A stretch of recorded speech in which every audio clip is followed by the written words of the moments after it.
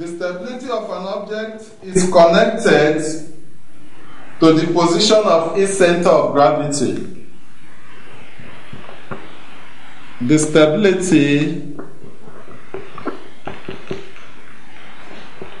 of an object is connected to the position of its center of gravity.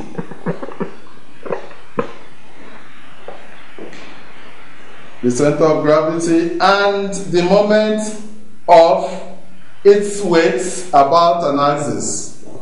And the moment its weight exerts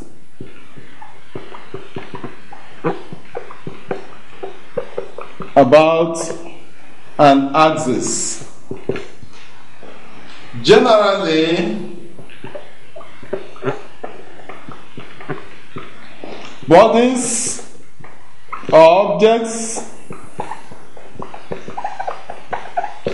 with low center of gravity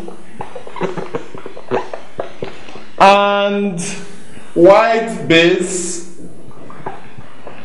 wide base area are very stable